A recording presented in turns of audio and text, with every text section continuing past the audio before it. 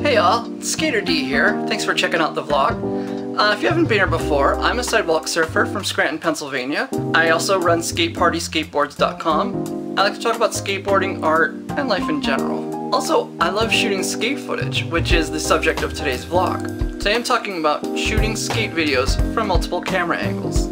Now my two main cameras are the Sony Cybershot, which is what I'm shooting this vlog on now, and then this GoPro Hero. For the most part, I like to use action cams because you can get really creative with them. I can put this GoPro almost anywhere using clips and other attachments. I can put it on fences, posts, really obscure locations, almost anywhere. I've even tried clipping it to the deck of my skateboard just to get some pretty unusual footage. Like I said, you can get really creative with action cams, and this, this one also shoots in 60 frames per second. The reason I like to use this point and shoot camera is because it's small enough to fit in a pocket, or I can put both cameras into a case and toss it in my backpack. It's super simple to operate, captures pretty good sound, it's a little bit bigger and has mechanical parts though, so that makes it a little more susceptible to damage. Also I don't have a waterproof case for it, so if it ever got wet, there's a chance it ended up being bricked. So as you can tell, each camera has its drawbacks. Now here's the thing, these are not the most up-to-date cameras available today. They are in fact very old, but they still work.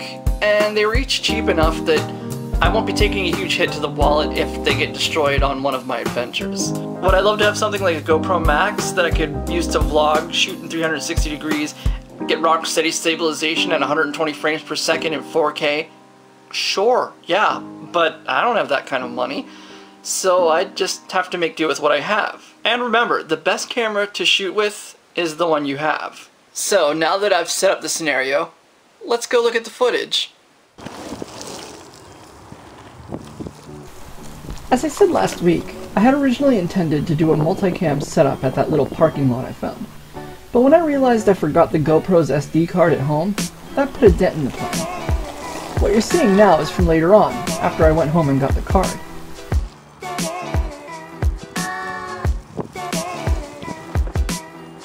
The whole reason I wanted to try this was because I'm usually skating alone when I go out. This leads to some limitations in how I capture action.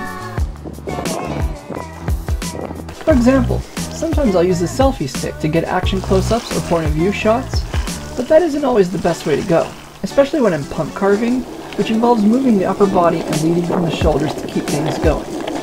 As you can imagine, that makes for a pretty shaky image, and this particular GoPro doesn't have image stabilization, so the handheld footage usually comes with a big compromise. Instead of hand-holding the camera, I like to use tripods, clips, or just putting it on the ground. And yes, I have absolutely skated to a mark, placed the camera, skated off frame, and then back to get the shot, then tripled back to retrieve the camera. And yes, it does become tedious, but it's the only way to get a good shot if you don't have a filmer following you around. In this scenario, the limitation is time. You might not have all day to skate back and forth from spot to spot, setting up the camera for a few seconds of footage per shot. In that case, your best bet is to find a good area to work with and keep your activity within that zone. Another limitation comes up when trying to make the footage interesting. Quicker paced shots are usually more interesting than ones that are slow, and one trick I have to make action look faster than it is is to put the camera as low and close to the subject as possible. The way this works is, think about it. Have you ever looked up and watched an airplane fly? You know it's probably going at least 100 miles an hour, but it looks like it's barely moving at all. Why is that? Well, generally, the further away an object is, the slower it will appear.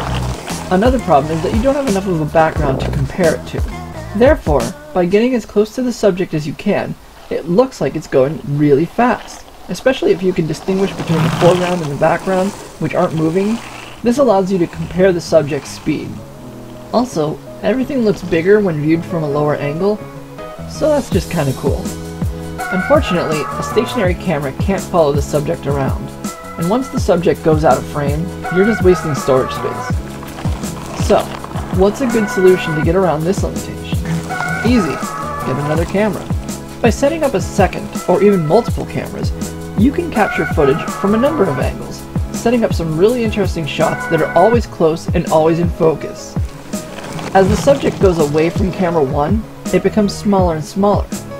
But as the subject approaches camera 2, it becomes bigger and bigger. Likewise, as the subject leaves the frame of camera 1, it enters the frame of camera 2.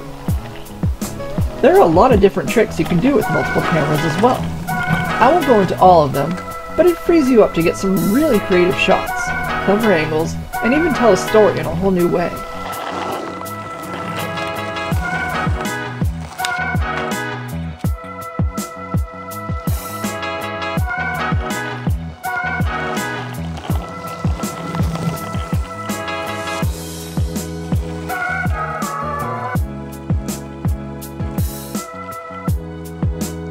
Well, that's about it for me.